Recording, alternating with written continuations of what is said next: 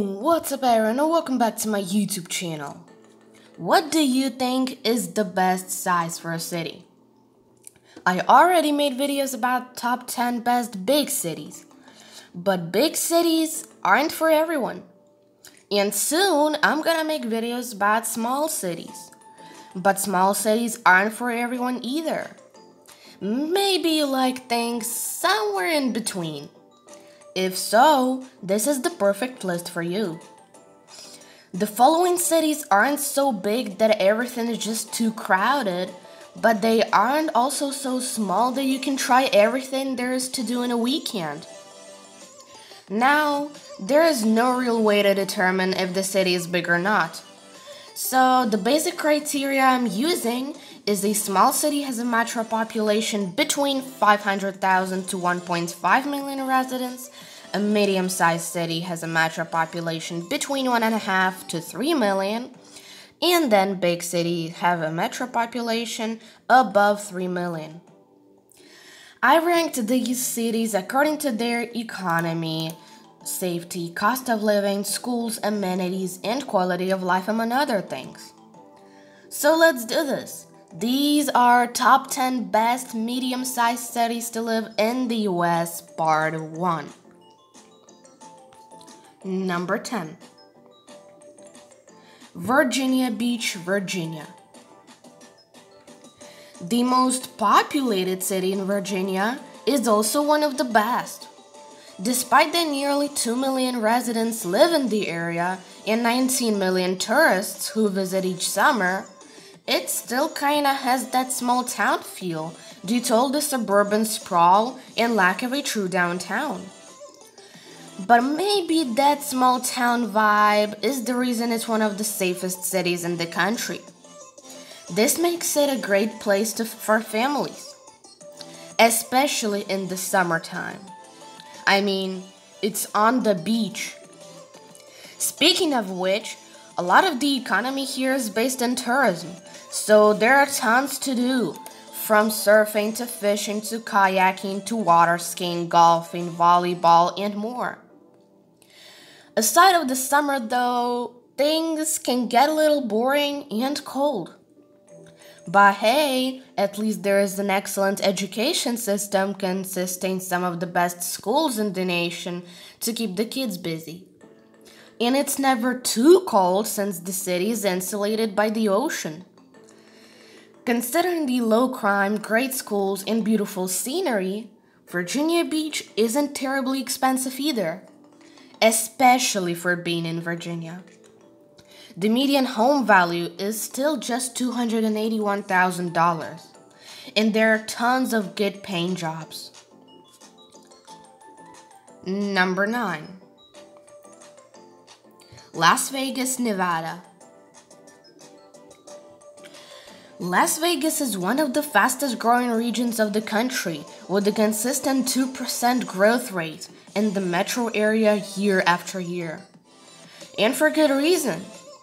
It's affordable, there's a great weather with over 300 sunny days, and world class food and entertainment is everywhere. Despite some obvious things like strip, there's tons to do in downtown, the hip art district, and some beautiful nature nearby. Now, Vegas obviously knows how to party, but with its nearly non stop nightlife.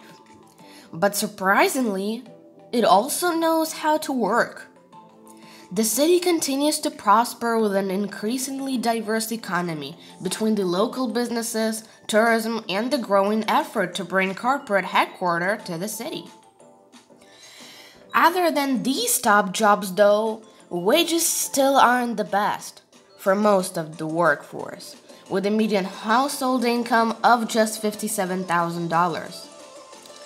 The good news is there is no state income tax and you can get by pretty cheap. There are a lot of nice homes in that 200,000 to $250,000 range. The main con that's keeping Vegas from being higher on this list is just that it's so spread out. So you're gonna need to drive to live here. Oh, and the public schools are also one of the worst. Number 8. Orlando, Florida. Another warm city, another tourist destination, and another one of the fastest growing cities in America. But just like Vegas is a lot more than a strip, Orlando is so much more than a Disney World. Oh, and there is no state income tax either. The city has so many inter- entertainment options that other mid sized cities don't because it's a huge tourist destination. In fact, it's the most visited city in the US. In addition, all the theme parks, green spaces, museums, nightlife, and great restaurant options, Orlando also has an NBA and MLS team. And Tampa's only a little over an hour away, as well as the beach. And to top it all off, the unemployment rate here is just 3%. But to be fair, a lot of jobs here are tourism jobs, so similar to Vegas, wages still aren't the best. The cost of living isn't too expensive though, with a median home price of just $259,000. And if you do buy a house, you don't really need to worry about getting destroyed by a hurricane, since Orlando is 50 miles inland. But just like every city so far in this list, you're gonna need a car to live here. Number 7 Columbus, Ohio. Our first Midwest city on this list is actually growing really fast. Which might come as a surprise though, considering that the state is struggling. Unlike other cities in Ohio, however, Columbus is a boomtown with one of the fastest growing economies in the nation. In fact, it was recently ranked as one of the top 10 best cities for young professionals. I mean, it makes sense. Ohio's capital is one of the most upcoming cities in America while still remaining incredibly affordable between the growing tech scene and amazing job opportunities in education, insurance, aviation, banking, energy, healthcare, and medical research. The median household income here is nearly $64,000. What makes it even better, though, is an extremely low cost of living with the median home price of just $171,000.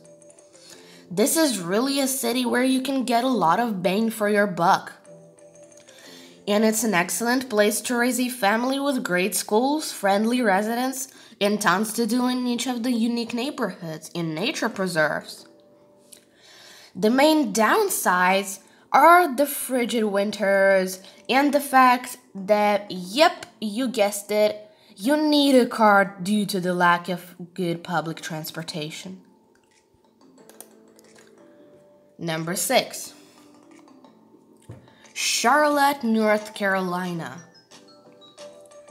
Ah, yet another Sunbelt city. Joining Orlando and Las Vegas, Charlotte is another one of the fastest growing regions of the country.